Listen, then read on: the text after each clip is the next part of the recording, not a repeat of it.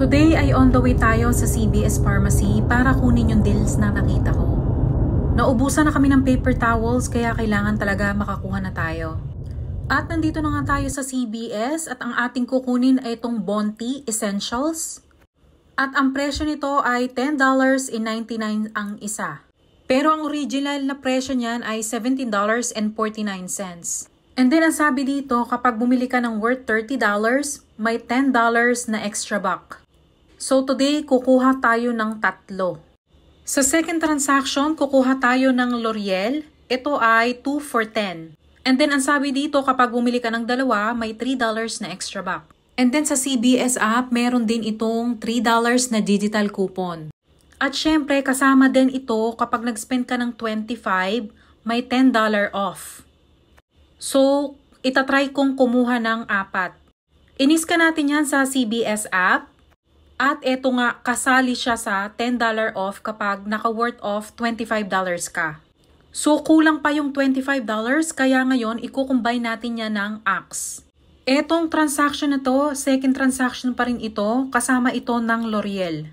So dito ang sabi kapag bumili ka ng dalawa, may $2 na extra buck. So ngayon kukuha tayo ng dalawa.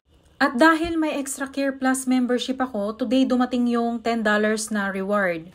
So gagamitin ko to dito sa first transaction. At meron din ako dito na extra buck. Ito yung last week ko pa na hindi ko pa nagagamit. At may 49 cents din ako dito na extra buck. Ready na tayo sa first transaction at ang total natin before coupon ay $32.97 plus taxes. After ng coupon, ang babayaran na lang natin ay $12.73. First transaction, eto na yung resibo. After natin magbayad ng $12.73, may bumalik pa sa atin na $10 na extra bucks. Second transaction, here we go. Ito yung mga kupon na gagamitin natin kasama yung extra buck na nakuha natin sa first transaction. Ang total natin before coupon ay $35.58 plus taxes. Okay, sa second transaction natin, ito yung resibo at ang total na binayaran natin dito ay $6.60. At after natin magbayad, may bumalik pa sa atin na $5 na extra bucks. So ito yung galing sa Axe at ito naman yung galing sa L'Oreal.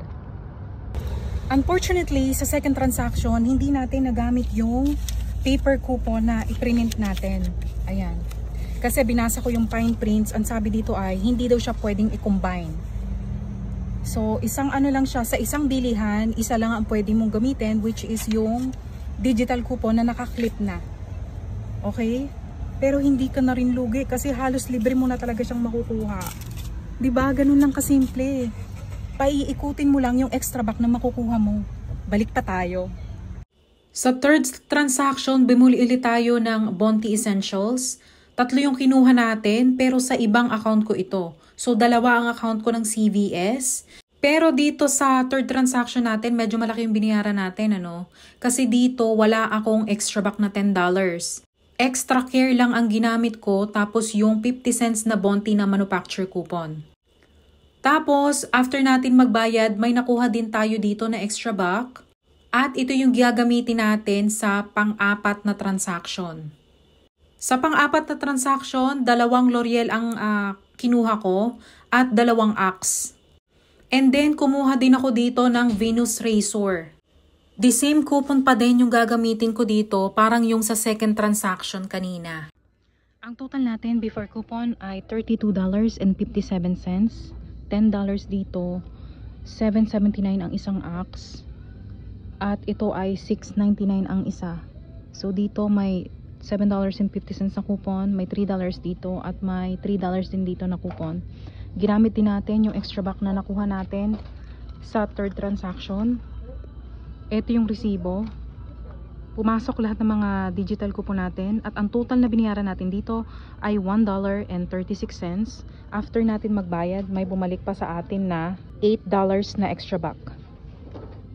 Ito ang panglimang transaction. Nakakita tayo dito ng Olay Serum. Ang dating presyo nito ay $47.49 ang isa. At ngayon nga ay nakasale siya ng 75% off, 11 87 na lang. Gagamitin din natin itong $8 na extra buck at yung manufacturer coupon na $4 sa Olay. Ang total natin kasama ang taxes ay $12.59 at after ng coupon ay 72 cents na lang. Woo! Ay, ito yung mga ganito na talagang binibili ko talaga kapag nakasale ng bongga. Kasi ma maano kami sa paper towel. Talagang magastos kami sa paper towel. Nakauwi na tayo at eto na yung mga pinamili natin. Kung hindi natin ito ginamitan ng coupon, ang total dapat nito ay $145.96 plus taxes. At ang total lang na binayaran natin sa lahat ng ito ay $44.54 lahat.